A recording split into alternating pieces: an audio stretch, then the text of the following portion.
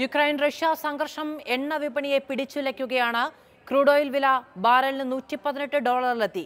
ഇന്ത്യയുടെ അടക്കം ഓഹരി വിപണി സൂചികകളിലും തകർച്ചയുണ്ടായി. ജിജിൻ തയ്യാറാക്കിയ ആക്മെന്റ് റിപ്പോർട്ട്. യുക്രൈനിലെ റഷ്യൻ അധിനിവേശം ലോകത്തെ മുഴുവൻ പിടിച്ചു കുലക്കുകയാണ്. എല്ലാ മേഖലകളിലും ആ അധിനിവേശത്തിന്റെ പ്രത്യാഘാതങ്ങൾ നമുക്ക് കാണാനാകും. റഷ്യൻ അധിനിവേശത്തിൽ ഉലഞ്ഞ ആഗോള വിപണി നിൽക്കുകയാണ്. ആഗോള വിപണി അതിൽ നിന്ന് കരകയറാനുള്ള ശ്രമങ്ങൾ നടത്തുന്നുണ്ടെങ്കിലും അത് നടക്കുന്നില്ല. ക്രൂഡ് ഓയിലിന്റെ വിലയാണ് ഏറ്റവും കൂടുതൽ ആയി നിൽക്കുന്നത്. ഒരു ബാരലിന്റെ ക്രൂഡ് ഓയിലിന്റെ വില നൂറ്റി പതിനെട്ട് ഡോളറിലെത്തി നിൽക്കുന്നു. അതായത് വരും ദിവസങ്ങളിൽ വലിയ വിലക്കയറ്റത്തിന് ഈ ക്രൂഡ് ഓയിലിന്റെ വില കാരണമാകും.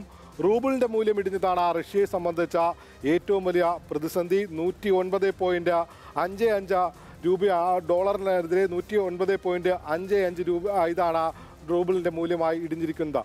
പല മേഖലകൾ പരിശോധിച്ചാൽ നമുക്കത് കാണാനാകും. സ്വർണവിലയിൽ നേരിയ ആശ്വാസത്തിന്റെ വാർത്തയാണ്. സ്വർണവില ഗ്രാമിന് നാൽപ്പത് രൂപ കുറഞ്ഞ ഒരു പവൻ സ്വർണത്തിന്റെ വില മുപ്പത്തേഴായിരത്തി എണ്ണൂറ്റി നാൽപ്പത് രൂപയായി. അത് കഴിഞ്ഞ ദിവസങ്ങളിലെ വലിയ വിലവർധനവിന് ശേഷമാണ് സ്വർണവിലയിൽ ഇപ്പോഴൊരു നേരിയ കുറവുണ്ടായിരിക്കുന്നത്. അത് പക്ഷേ അധിക നേരം അല്ലെങ്കിൽ അധിക നാൾ പിടിച്ചു നിൽക്കാനാകില്ല.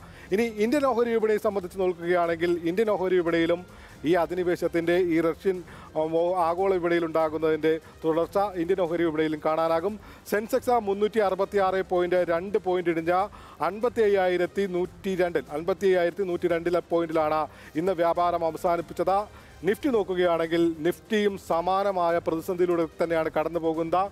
നിഫ്റ്റി നൂറ്റി ഏഴ് പോയിന്റ് ഒൻപത് പോയിന്റ് താഴ്ന്ന പതിനാറായിരത്തി നാനൂറ്റി തൊണ്ണൂറ്റിയെട്ട് പോയിന്റിലാണ് ഇന്ന് വ്യാപാരം അവസാനിപ്പിച്ചത്.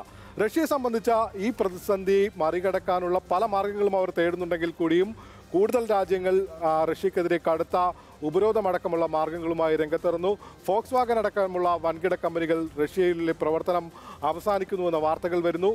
ചൈനയിൽ നിന്നുള്ള കൂടുതൽ സഹായത്തിലൂടെ ഈ സാമ്പത്തിക പ്രതിസന്ധി മറികടക്കാനാണ് റഷ്യ ശ്രമിക്കുന്നത്. മറ്റ് ലോകരാജ്യങ്ങൾ യൂറോപ്യൻ യൂണിയനും നാറ്റോവും അടക്കമുള്ള മറ്റ് ലോകരാജ്യങ്ങൾ ഈ പ്രതിസന്ധിയെ എങ്ങനെ മറികടക്കാൻ കഴിയുമെന്ന തലപുകച്ചുള്ള ആലോചനയിലുമാണ്.